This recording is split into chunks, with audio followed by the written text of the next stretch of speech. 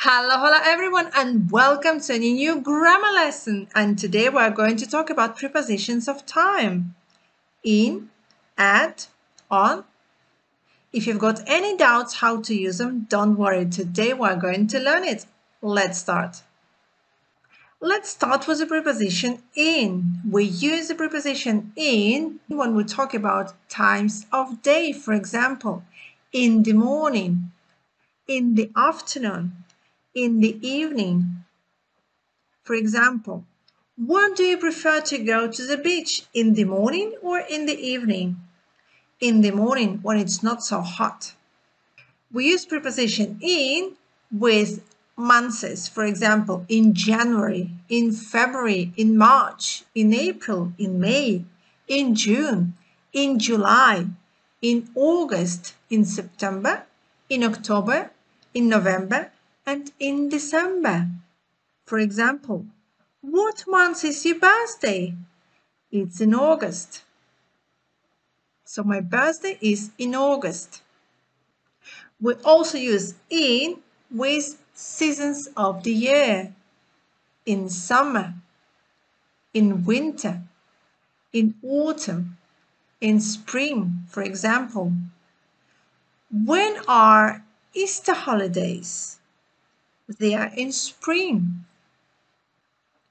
We also use preposition in when we're talking about years in 1984, in 2015 or in 2022.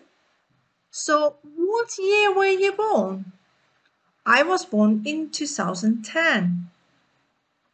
So always when we're saying about the year, we need to use the preposition in. We also use preposition in talking about centuries, in 19th century, in 20th century. For example, what century did Shakespeare live? Well, he was born in the 16th century, but he died in the 17th century. The last but not the least, we use the preposition in talking about longer period of time. For example, in the past, in the 90s, in the holidays. For example, I love the music created in the 80s. Now let's talk about the preposition on. We use the preposition on when we talk about days of the week. For example, on Monday, on Tuesday, on Wednesday, on Thursday, on Friday, on Saturday, on Sunday. So what days have you got your tennis classes?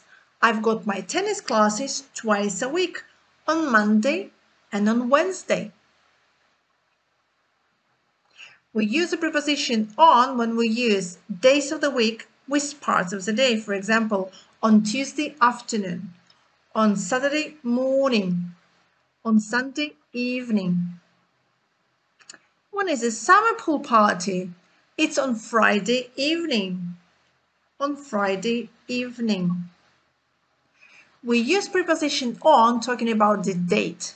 For example, on November 22nd. What day does the school year start? The school starts on September 8th. We also use the preposition on talking about special days. For example, on my birthday, on New Year Eve, on Christmas Eve. For example, when did you first meet your boyfriend? I met him on Christmas Eve. Let's have a look at examples when we use the preposition at. So we use the preposition at with time, clock time. When we're talking about the time, for example, at 4.30 a.m. or at 5 o'clock or at 6 p.m. For example, when is your flight? My flight is at 7.30 a.m. We also use the preposition at when talking about festivals, for example, at Christmas, at Easter. Have you got holidays at Christmas? Yes, I've got two weeks off at Christmas. When there are rules, there are exceptions. So here we've got two exceptions at night and at the weekend. As you remember, with the times of the day, in the morning, in the afternoon, in the evening, we use the preposition in, except night. With the word night, we use at night. And we use at the weekend. As you remember, we use preposition on when talking about days of the week, but when we're talking about the weekend, we use the preposition at, at the weekend. For example, have you got any plans at the weekend? Yes, I have. If the weather is good, I will go to the beach, but if it rains, I will go to the cinema. And at night, I'm planning to go out dancing. What about you? Have you got any plans at the weekend? And now let's have some practice. I've got a special quiz for you. Prepositions of time quiz. Are you ready? Let's start. The task number one. It's sunny and hot summer. What preposition will you choose? In, at, or on? It's season. So with seasons, we use the preposition in. Task number one, well done. Task number two, I've got a dentist appointment Wednesday morning. On, in, at. With days of the weeks, we use preposition on. Good job! Task number three. I want to go to the cinema. A movie starts 5.30. Would you like to come? On, at, in. Here we're talking about clock time. It will be at. Well done. Task number four.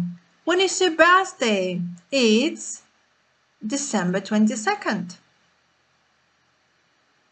In, at, on. Here we're talking about the date. So it will be the preposition on. Excellent. And the last one, task number five. What year were the last Olympic Games? The last Olympic Games were 2021 in, on, at. With years, we use the preposition in. Good job! Excellent!